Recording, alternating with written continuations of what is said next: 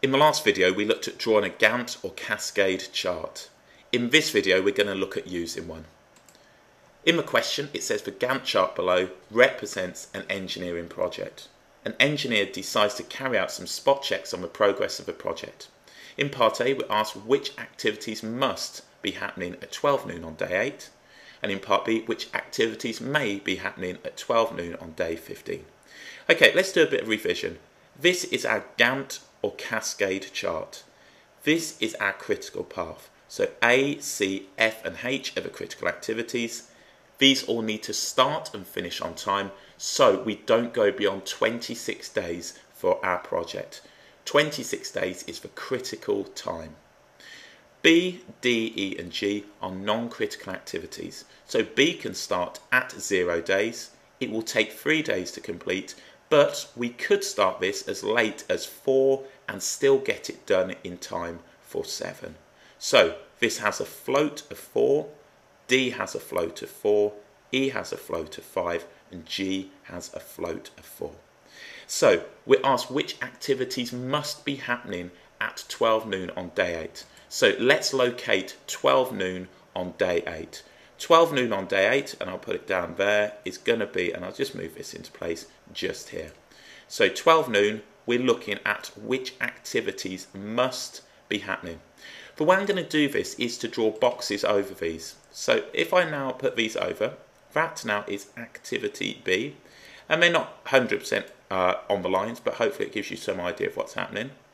This one now, activity D, will do something like so, and then we've got activity E, again another non-critical activity, and then we've got activity G. Okay, so what we're going to do from here now is look at which activities must be happening at 12 noon on day 8. Don't fall into the trap of putting it just here. Remember, these are the time periods that have passed, and in this case, it's days. So we're going to look now at what must be happening.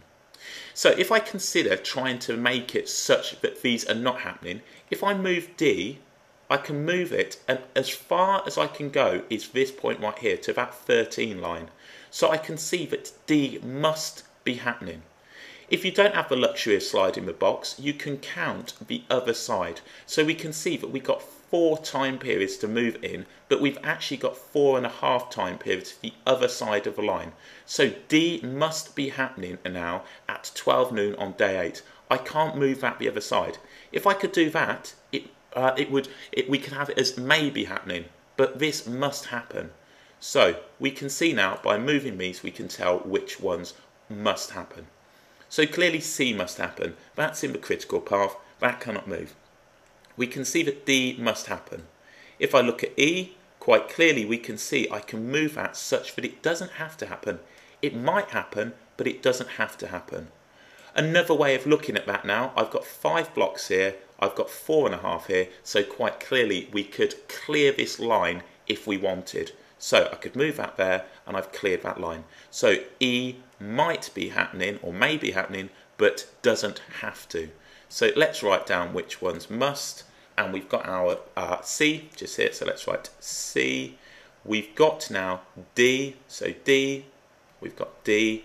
And we've got on here just C and D. So let's just check those. Which must be happening? We can see that E doesn't have to. So it's just going to be C and D. C and D must be happening at that point. I can't get away from that. I can't move that such that we clear that line.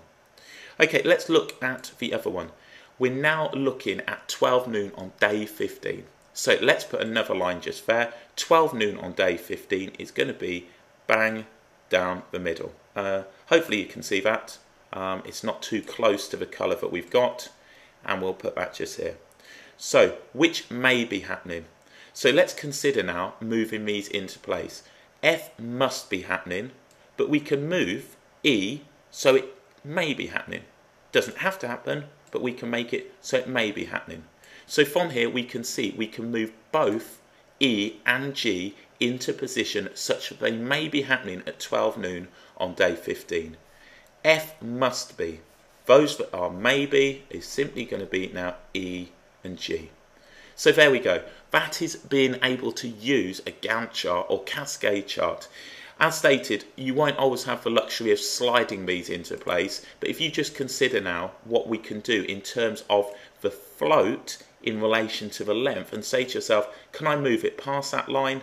If so, we need to consider now whether it must happen or it may happen.